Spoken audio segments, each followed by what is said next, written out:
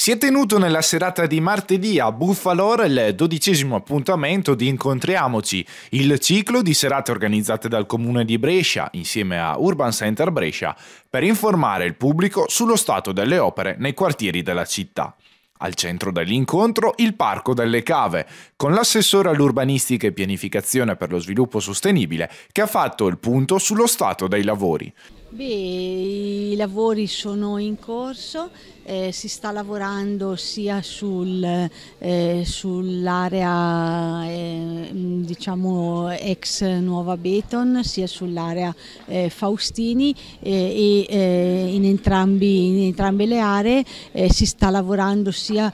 sulle sponde dei laghi per andare a consolidarle e a piantumare in maniera importante le, le, aree e sia si sta lavorando su quelli che sono i percorsi eh, ciclopedonali che eh, permetteranno dalle diverse eh, zone circostanti, quindi dal quartiere di Buffalora, eh, di San Polo e di San Polino, eh, di entrare eh, all'interno del parco e poterlo percorrere in, in sicurezza. Quindi nel, già nella prima metà del 2018 il parco potrà avere una, una buona fruibilità e, e quindi eh, sarà una, una, zona fruibile eh, per tutti i cittadini.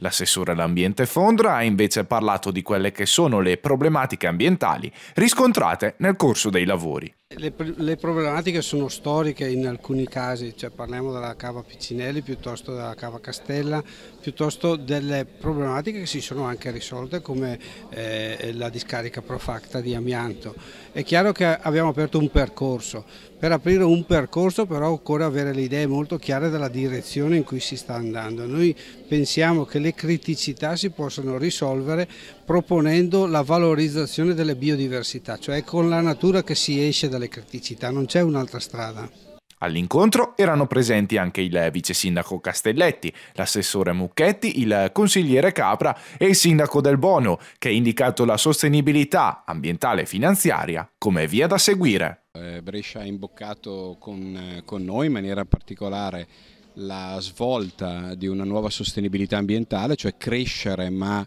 in modo sostenibile, sostenibile dal punto di vista dell'ecoambiente, vuol dire ridurre il consumo di suolo, vuol dire eh, rigenerare e riqualificare l'esistente, vuol dire investire sul trasporto pubblico, vuol dire investire sulla ciclopedonalità, vuol dire realizzare parchi, aree di mitigazione come in questo caso il Parco delle Cave, quindi è una politica complessiva che va nella direzione di un'idea di città diversa rispetto al passato. E ovviamente tutto questo deve essere anche sostenuto finanziariamente perché non basta realizzare parchi, non basta essere la città col maggior numero di, di alberi, bisogna manutenerli poi e quindi le scelte che dovremo fare nel futuro saranno quelle di una, anche di, di, priorità che nel passato non erano tali o non erano così in maniera così significativa eh, percepite come, come, come ora.